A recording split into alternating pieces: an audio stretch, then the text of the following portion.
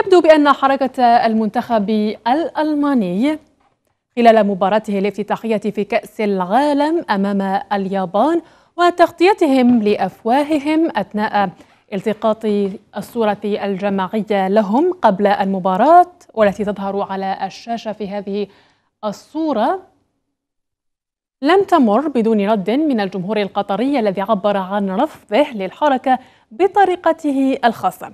خلال مباراة ألمانيا وإسبانيا بملعب البيت رفع قطريون صورة اللاعب.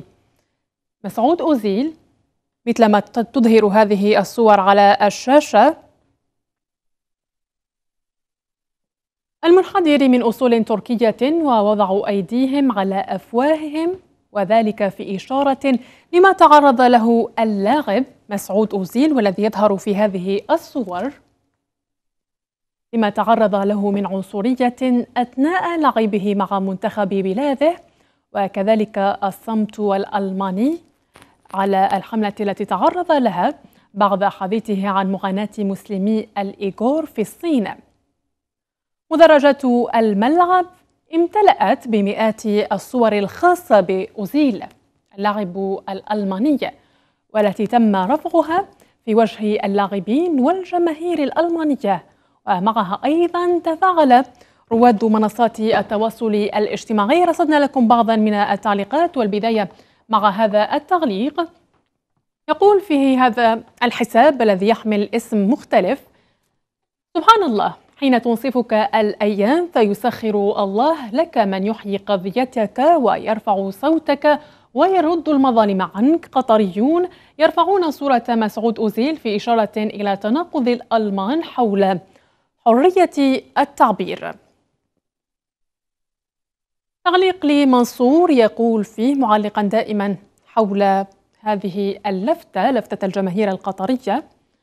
القطريون لم تطوفهم لا شاردة ولا واردة في هذا المونديال. هكذا يكون فن الرد. قطريون يرفعون صور مسعود أوزيل في المدرجات ردا على لاعبي ألمانيا.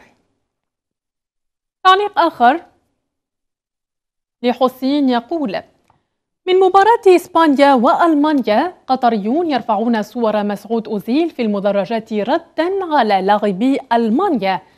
دي كفاية عليك يا أوزيل خسرت كثير بس كسبت دينك وآخرتك وكسبت حب المسلمين ليك دي بالدنيا كلها قسم بالله. كما أنت عظيم يا أوزيل ألمانيا ما جابتش غير راجل واحد بس كل الدعم لفخر المسلمين. تعليق لي. أحمد حسني أبو العلا يقول والله البطولة دي أكثر من أنها كرة دي اسمها بطولة نصرة الإسلام. فعلا شكرا قطر لنصرة دين الحق. نبقى دائما مع التعليقات حول هذا الموضوع حول رفع قطريين صورة اللاعب مسعود أوزيل في مباراة ألمانيا وإسبانيا. مع هذا التعليق يقول فيه محمد ازدواجية حرية التعبير عند الغرب عجيبة. سوسن تقول معلقة دائما على الصور موقف رائع في مواجهة غطرسة الغرب وموقفهم الزائف من الحرية وحقوق الإنسان. محمد باري يقول ونعم الرجل الذي وقف في وجه العنصرية. أنا من عشاق مسعود أزيل كل الحب والاحترام والتقدير له. بدر الدجى يقول ينبغي توزيع هذه الصور بكثرة على المشجعين ورفعها في باقي مبارياتهم في المونديال لنعلمهم كيف يلقنون الدروس جيدا. برافو قطر مونديال للتاريخ.